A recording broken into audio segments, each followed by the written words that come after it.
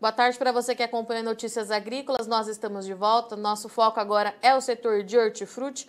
Hoje a gente vai fazer um acompanhamento da safra de uva para saber como é que tem se comportado o clima para esse produtor, custo de produção, é, demanda, como é que tá. E para a gente entender melhor tudo o que está acontecendo nesse setor, eu convido aqui então a Fernanda Gomes. A Fernanda é pesquisadora do CPEA. Fernanda, seja bem-vinda mais uma vez aqui ao Notícias Agrícolas. Oi, boa tarde, muito obrigada.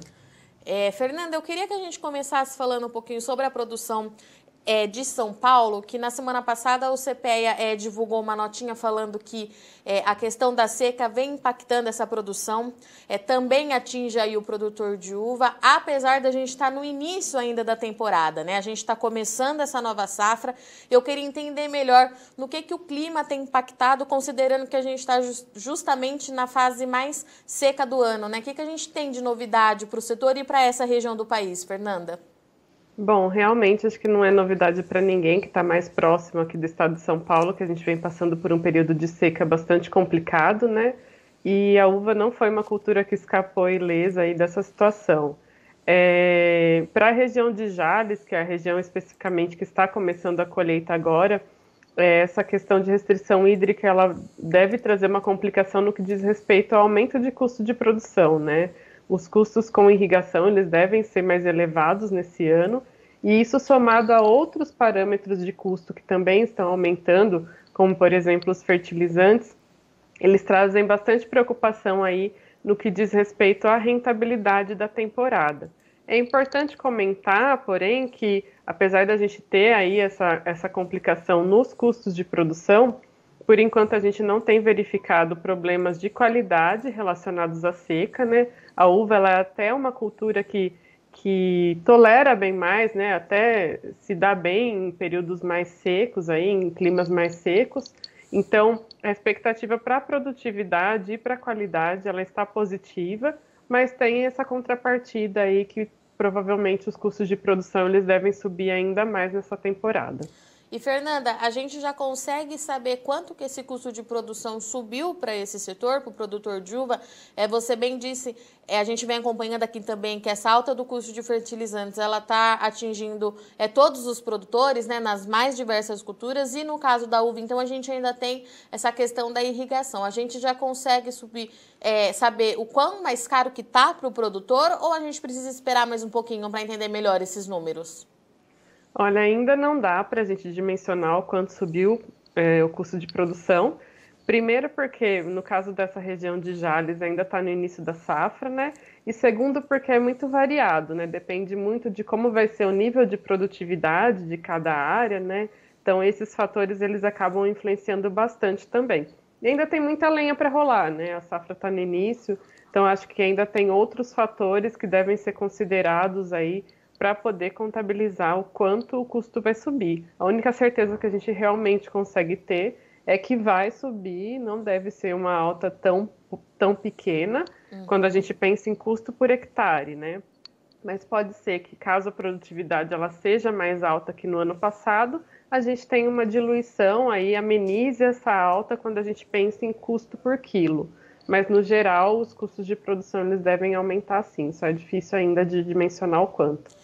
E Fernanda, essa é a realidade do produtor aqui do Sudeste, do estado de São Paulo, mas e as outras regiões importantes é, de produção, né? Como é que está, estão nesse momento? Enfrentam o mesmo tipo de problema? Alguma coisa que tem chamado a atenção de vocês aí no CPE? Qual que é o cenário atual?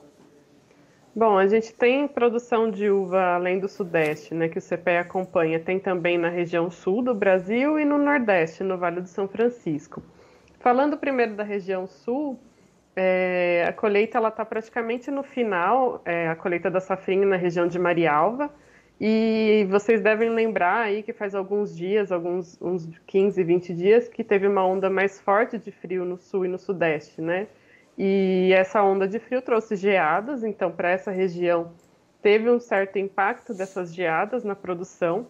Na verdade, não na produção, né? Porque essas frutas que estão no final de colheita não foram tão impactadas, mas algumas áreas já haviam sido podadas para a safra de final de ano, que começa em novembro. Essas áreas que já foram podadas, provavelmente elas vão precisar de repoda e, consequentemente, por ser um processo manual, acaba aumentando também os custos de produção. Então, é mais um parâmetro aí que preocupa no que diz respeito ao custo de produção para essa região. Mas, no geral, é bem possível que não haja impacto no volume produzido, mas esse impacto no custo de produção para os produtores. Falando um pouquinho sobre o Nordeste, né? o Nordeste já é um cenário bem diferente. É, o que, que a gente está é, o que está acontecendo esse ano no Vale do São Francisco, que é a maior região produtora de uva de mesa. Está um cenário totalmente diferente do ano passado. O ano passado foi um primeiro semestre muito chuvoso, diminuiu muito a produção de uvas e também a qualidade. Agora já esse ano foi o oposto. O primeiro semestre ele foi relativamente seco também no Nordeste. Não teve problemas de disponibilidade de água, mas isso contribuiu aí é, para a produtividade e para a qualidade das uvas da safra. Então, nós tivemos um primeiro semestre com uma oferta muito mais elevada quando a gente fala de oferta do Nordeste. E isso também acabou impactando um pouquinho nos preços aí para a uva no geral.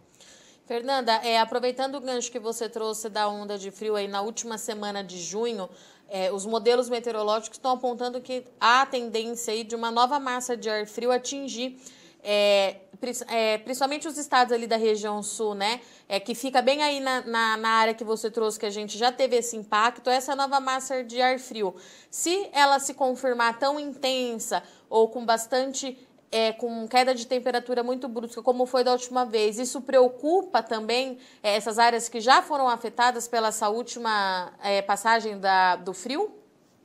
Sim, com certeza. O frio nesse período de pós-poda, ele é bastante prejudicial. Então, se por acaso realmente houver aí essa onda de frio bastante severa, pode ser que haja novamente algum tipo de dano ou até mesmo áreas que não foram danificadas pela primeira onda de frio podem ser danificadas agora. Também temos algumas regiões de São Paulo que a poda ela, ela, ela está para acontecer ou até em, algum, em algumas áreas já aconteceu, então pode ser que até mesmo essas regiões de São Paulo, como a região de São Miguel Arcanjo, pod, podem ser também impactadas aí por essa onda de frio nas áreas onde a poda já foi iniciada. Então a gente tem que prestar atenção para ver se essa onda de frio se confirma é, e o quanto que deve prejudicar para essa próxima produção. É isso, né, Fernanda?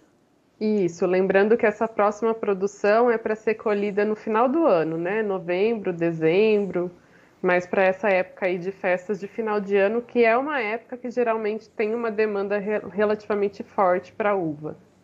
E Fernanda, falando um pouquinho na demanda, então, você trouxe para a gente que as principais regiões produtoras do país é, enfrentam algum problema climático, tem alta no custo de produção, mas a produtividade e a qualidade ela é mantida, o produtor consegue entregar é, boa mercadoria ao mercado, mas como é que estão, como é que está o outro lado, né? A última vez que a gente conversou, você trouxe para a gente que o setor de hortifruti como um todo é, passava por um momento de demanda mais retraída por conta de uma restrição na verba do consumidor final. Isso mudou? Há alguma expectativa de melhora? Qual é o cenário atual? É, infelizmente, esse cenário de demanda a gente ainda não viu mudança para melhor, né? realmente ainda é um período complicado quando a gente fala de consumo. E a gente tem o agravante do frio, né? Frutas, no geral, em, em, épocas mais frias, de baixas temperaturas, o consumo ele já cai. E aí, como a gente já está num período de restrições de renda, consumidor priorizando itens mais essenciais, as frutas elas acabam sendo negativamente impactadas também. E há alguma expectativa de melhora, de uma retomada para esse setor, Fernanda? A gente falava muito é, há um mês atrás, há dois meses atrás, que com o avanço é, da vacinação tinha essa expectativa né, de uma retomada, com restaurante abrindo, escolas. Vacinação está caminhando pelo país. Essa, há essa expectativa ela se mantém no mercado. Como é que vocês avaliam aí que deve ser o segundo semestre? Olha, é, com certeza esse, esse ponto que você levantou é bastante válido, né? O avanço da vacinação e um, uma ameaça de retomada da normalidade, ela tende sim a beneficiar o consumo como um todo. E até mesmo as previsões econômicas que estão um pouco mais otimistas agora para esse segundo semestre, isso tende a beneficiar, sim. Só que a gente tem um ponto que talvez seja um pouquinho limitante ainda quando a gente pensa em rentabilidade do produtor, né? segundo semestre é um período que a oferta aumenta também, né, em relação ao primeiro semestre, quando se diz respeito de uva. Então, a gente deve ter uma oferta maior e uma economia que começa ainda a dar sinais de retomada, né? Então, a gente vai ainda depender de como vai ser essa reação da demanda para conseguir avaliar se o que vai prevalecer é a oferta, que deve ser alta no segundo semestre, ou se a demanda ela vai ser suficiente aí para compensar essa, esse maior volume que, que deve ser colhido em, aí no Brasil. E no meio de tudo isso, a gente ainda tem a terceira ponta, que é o custo de produção, né, Fernanda? Que é para a gente saber se essa retomada nos preços vai cobrir esse custo mais elevado que o produtor está tendo esse ano, né? Sim, com certeza.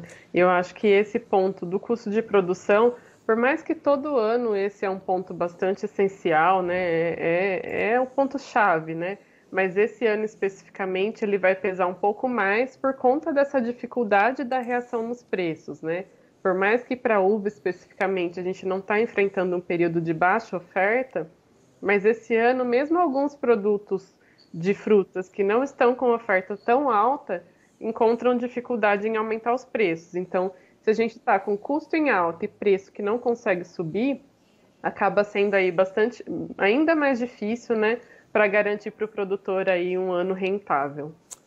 Fernanda, eu agradeço pela sua participação, as informações do CPE. Eu deixo o convite aberto. Você é sempre muito bem-vinda aqui no Notícias Agrícolas. Eu agradeço o convite de vocês, é uma honra participar. Até a próxima. Até. Portanto, essa foi a nossa conversa com a Fernanda, que trouxe para a gente o cenário do produtor de uva, que enfrenta em São Paulo é, uma alta no custo de produção por conta da irrigação. A seca começa a atingir esse setor também. Na região sul do país, é, o cenário, o que chama atenção e o que o preocupa é essa onda de frio que, que a gente tem aí como característica até agora no inverno, que pode impactar é, também no custo de produção é, e impactar de alguma forma na safra é, do ano que vem, nessa safra ser colhida no final do ano, perdão. E em relação à demanda, a Fernanda trouxe que ela continua retraída, o cenário ainda é de aperto para o bolso do produtor, considerando que o consumidor final ainda tem é, uma restrição é, orçamentária, então a gente precisa continuar acompanhando para ver como é que vai ser a retomada desse setor, que a Fernanda trouxe, que continua com a expectativa aí de uma melhora agora no segundo semestre, conforme conforme a vacinação contra a Covid-19 for avançando no país. Bom, vou ficando por aqui, mas você não sai daí que a nossa programação continue já já a gente está de volta. Se inscreva em nossas mídias sociais. No Facebook, Notícias Agrícolas. No Instagram, arroba Notícias Agrícolas. E em nosso Twitter, arroba Norteagri. E para não perder nenhum vídeo, não se esqueça de nos acompanhar no YouTube e na Twitch Notícias Agrícolas Oficial.